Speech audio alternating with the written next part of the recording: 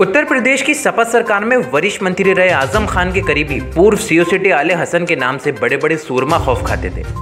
जलवा इतना था कि पुलिस महकमा के आला अफसर भी अपने सीओ सिटी को आले हसन भाई कहकर संबोधित किया करते थे।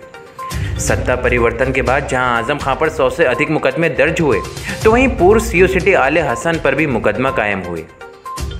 अब ऐसे ही तीन मुकदमों में उनकी ओर से अदालत में जमानत के लिए प्रार्थना पत्र दिए गए थे, जिन्हें सरकारी वकील के दखल के बाद खारिज कर दिया गया है। उत्तर प्रदेश में 2012 से 2017 तक अखिलेश यादव के क्यादत में समाजवादी पार्टी की सरकार रही। इस सरकार में आज़म खान ताकतवर कैबिनेट मंत्री बने। पाँच सालों में उनका इतना सियासी रसूख था। उसी दौर में उनके एक इशारे पर कानूनी लीग से हटकर काम करने वाले उनके बेहद करीबी, तत्कालीन सीओ सिटी आले हसन आज़म खान के विरोधियों के लिए खौफ का दूसरा नाम था। या तो उनकी बात मान लो, या फिर भारी भरकम चरस के साथ जेल की सलाखों के पीछे पहुँच जाओ। ये सिलसिला अनगिनत लोगों के साथ जारी रहा।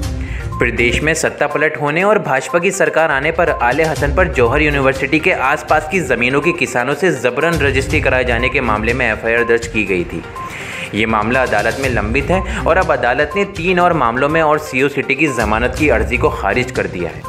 पूर्व सीओ सिटी आले हसन अपने ऊपर दर्ज कई मामलों में जेल भी गए। और फिर कई महीने के बाद जेल से रिहाई भी मिली। कुछ इसी तरह कई मुकदमों में स्थानीय अदालतों के अलावा इलाहाबाद हाई कोर्ट से भी जमानत मिली और कुछ में स्टे ऑर्डर भी मिला।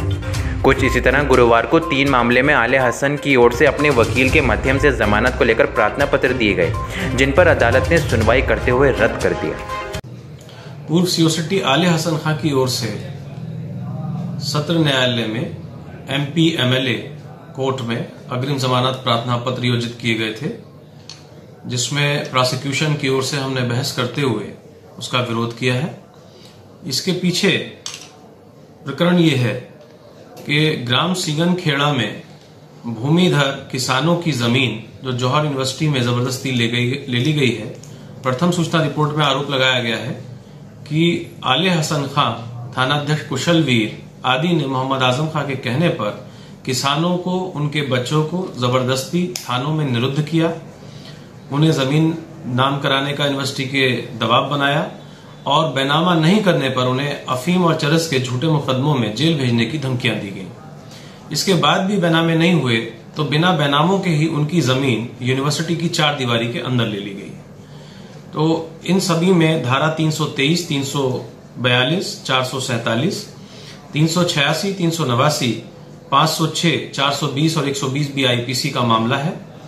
इनके खिलाफ पुलिस द्वारा पर्याप्त साक्ष्य जुटाया गया है, आरोप पत्र न्यायालय में प्रेषित किया गया है। हमने वो सभी तथ्य माननीय न्यायालय के सामने रखे हैं। माननीय न्यायालय एमपी एमएलए कोर्ट ने दोनों पक्षों की सुनवाई के बाद आज तीन जमानत प्रार्थना पत्र आले हसन खां के रद्द कर दिए हैं।